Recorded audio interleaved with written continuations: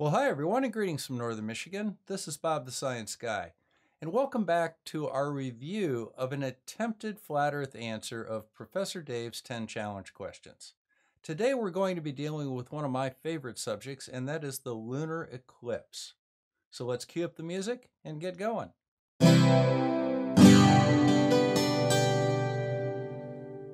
Number seven, what the hell is a lunar eclipse to you? Seriously, explain anything about a lunar eclipse. The things you say about solar eclipses are stupid enough, but at least you say something. You're asking me to explain, but what are you explaining? You're just repeating what you read or what you've been told.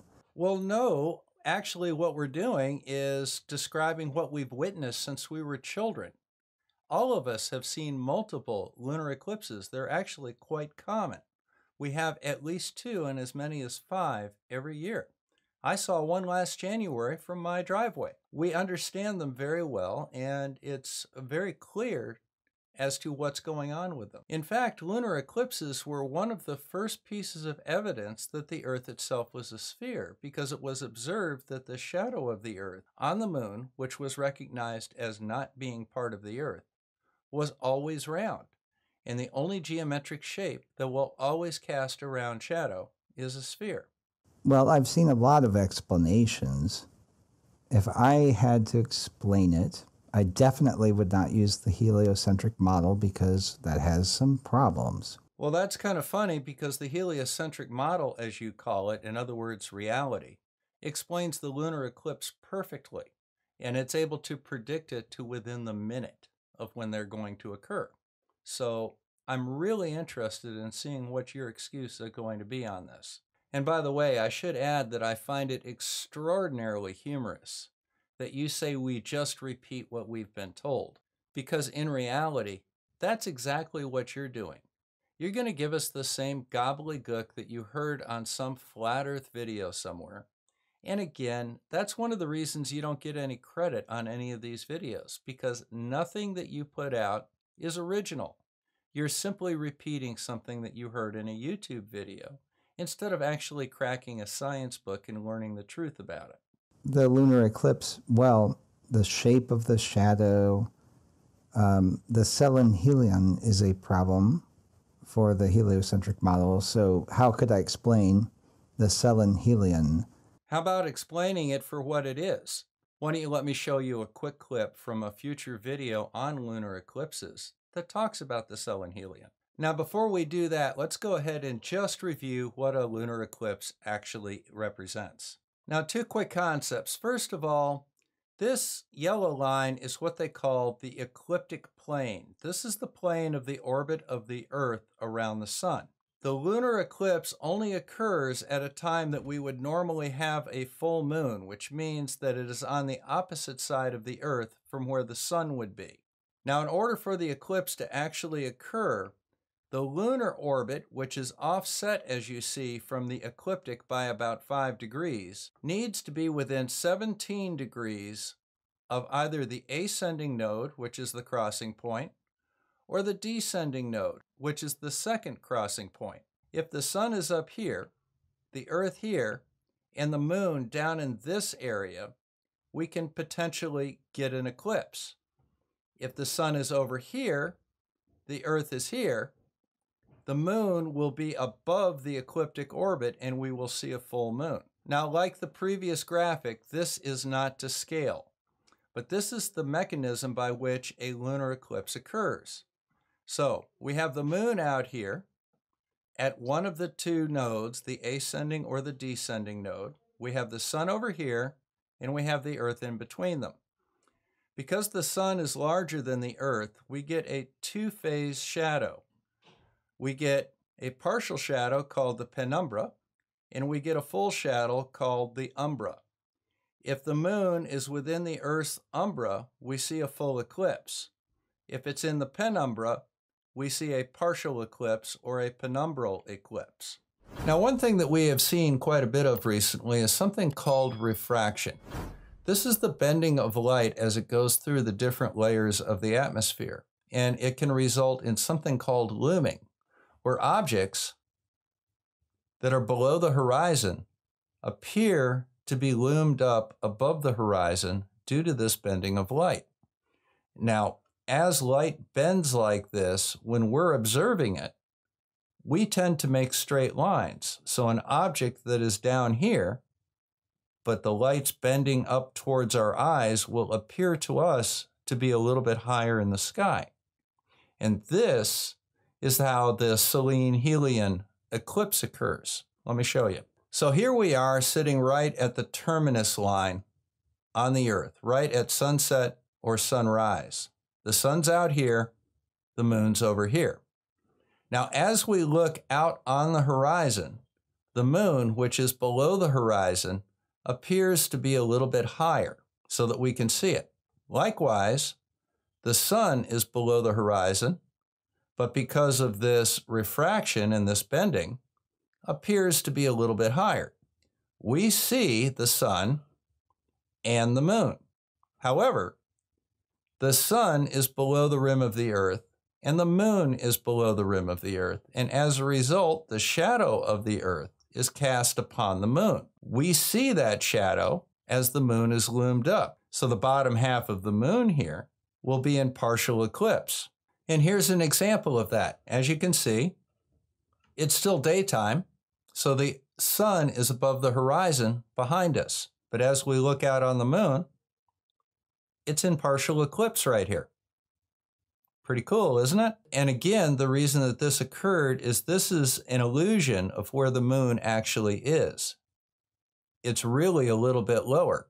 Likewise, behind us, the sun is lower than it appears to us as we turn around and look at it. So, this portion of the moon right here is within the shadow of the earth. Well, using the uh, explanations from a different culture and a different time, because I'm open minded, and there is there are ancient texts that talk about Rahu and Ketu, and these have been observed to some extent in various photographs from high altitude balloons. Well, fine. Where is your evidence that these bodies even exist? Do you have a radar return from one of them? Are they within the dome or outside the dome? Are they planets? Are they asteroids? Are they round? Are they disc shaped? You know, some of the ancient cultures said that either a dragon or a jaguar ate part of the moon and the moon regrew. Do you have any evidence of these animals living in the sky? So, quite frankly, I showed you how it occurred, and that's that. If you want to maintain that there's another body up there, fine. Be my guest. Show me evidence that it's there. So, you're talking about the lunar eclipse well. Okay yeah, I think it could be these objects. These two objects are not perpetually above a flat plane, and you know it, which is why you're totally silent on lunar eclipses. And if you're going to propose that some other object besides the Earth is what obscures the moon, good luck trying to demonstrate its existence. Well, the demonstration of its existence is the observations we've made.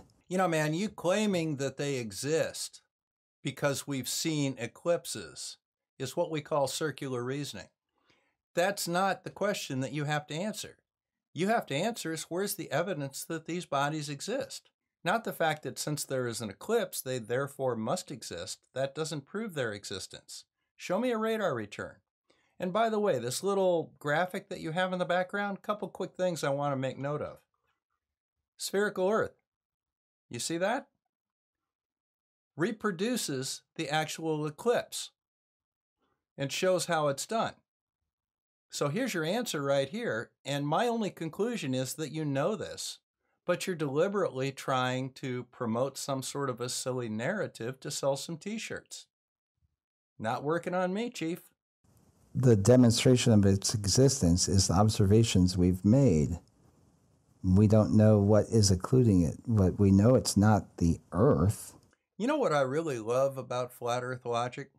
Well, we don't know what it is. We just know that it's not a spherical Earth. Well, if you don't know what it is, how do you know it's not a spherical Earth? The, the mainstream explanation for Selenehelion is refraction. Now, based on what you said earlier about refraction, I don't know if you're going to go there, but um, okay, you know, so I've said that. So that's You know, which of course we just explained on a spherical Earth. And in many other episodes, I've demonstrated that this refraction not only occurs, but can be demonstrated. So, what is your problem? And that was that. Recall that the question here was to explain the lunar eclipse on a flat Earth. What was his excuse? Well, the selenhelion can't occur on a globe. I showed you exactly how it could. I showed you the mechanism of a lunar eclipse on our current model, you know, reality. His question was to demonstrate how this can occur on a flat Earth. That's right. Your job is to take this moon and that sun and demonstrate the geometry of how something could block the light from this sun onto that moon and appear as an eclipse anywhere it is dark on the earth. You have failed miserably. You didn't even attempt to explain it. That's probably because this is not your flat earth model. You don't even know what your flat earth model is. You have no idea what's causing the darkening on the moon. You don't know what the moon is. You don't understand if the moon's light is reflected or self generated. You think moonlight is cold. You have no clue. So, you have failed this question epically. So, now we're going to go on to the next obvious question. If this sun and that moon are local objects, let's see you demonstrate that. In the meantime, this is Bob the Science Guy signing out from Northern Michigan. Thank you very much for stopping by. I look forward to our next visit. Remember to hit that like and subscribe button down there, and I look forward to having you as part of Team Bob. We've got some exciting things coming up for the channel, and I hope you'll be part of it. Take care, guys.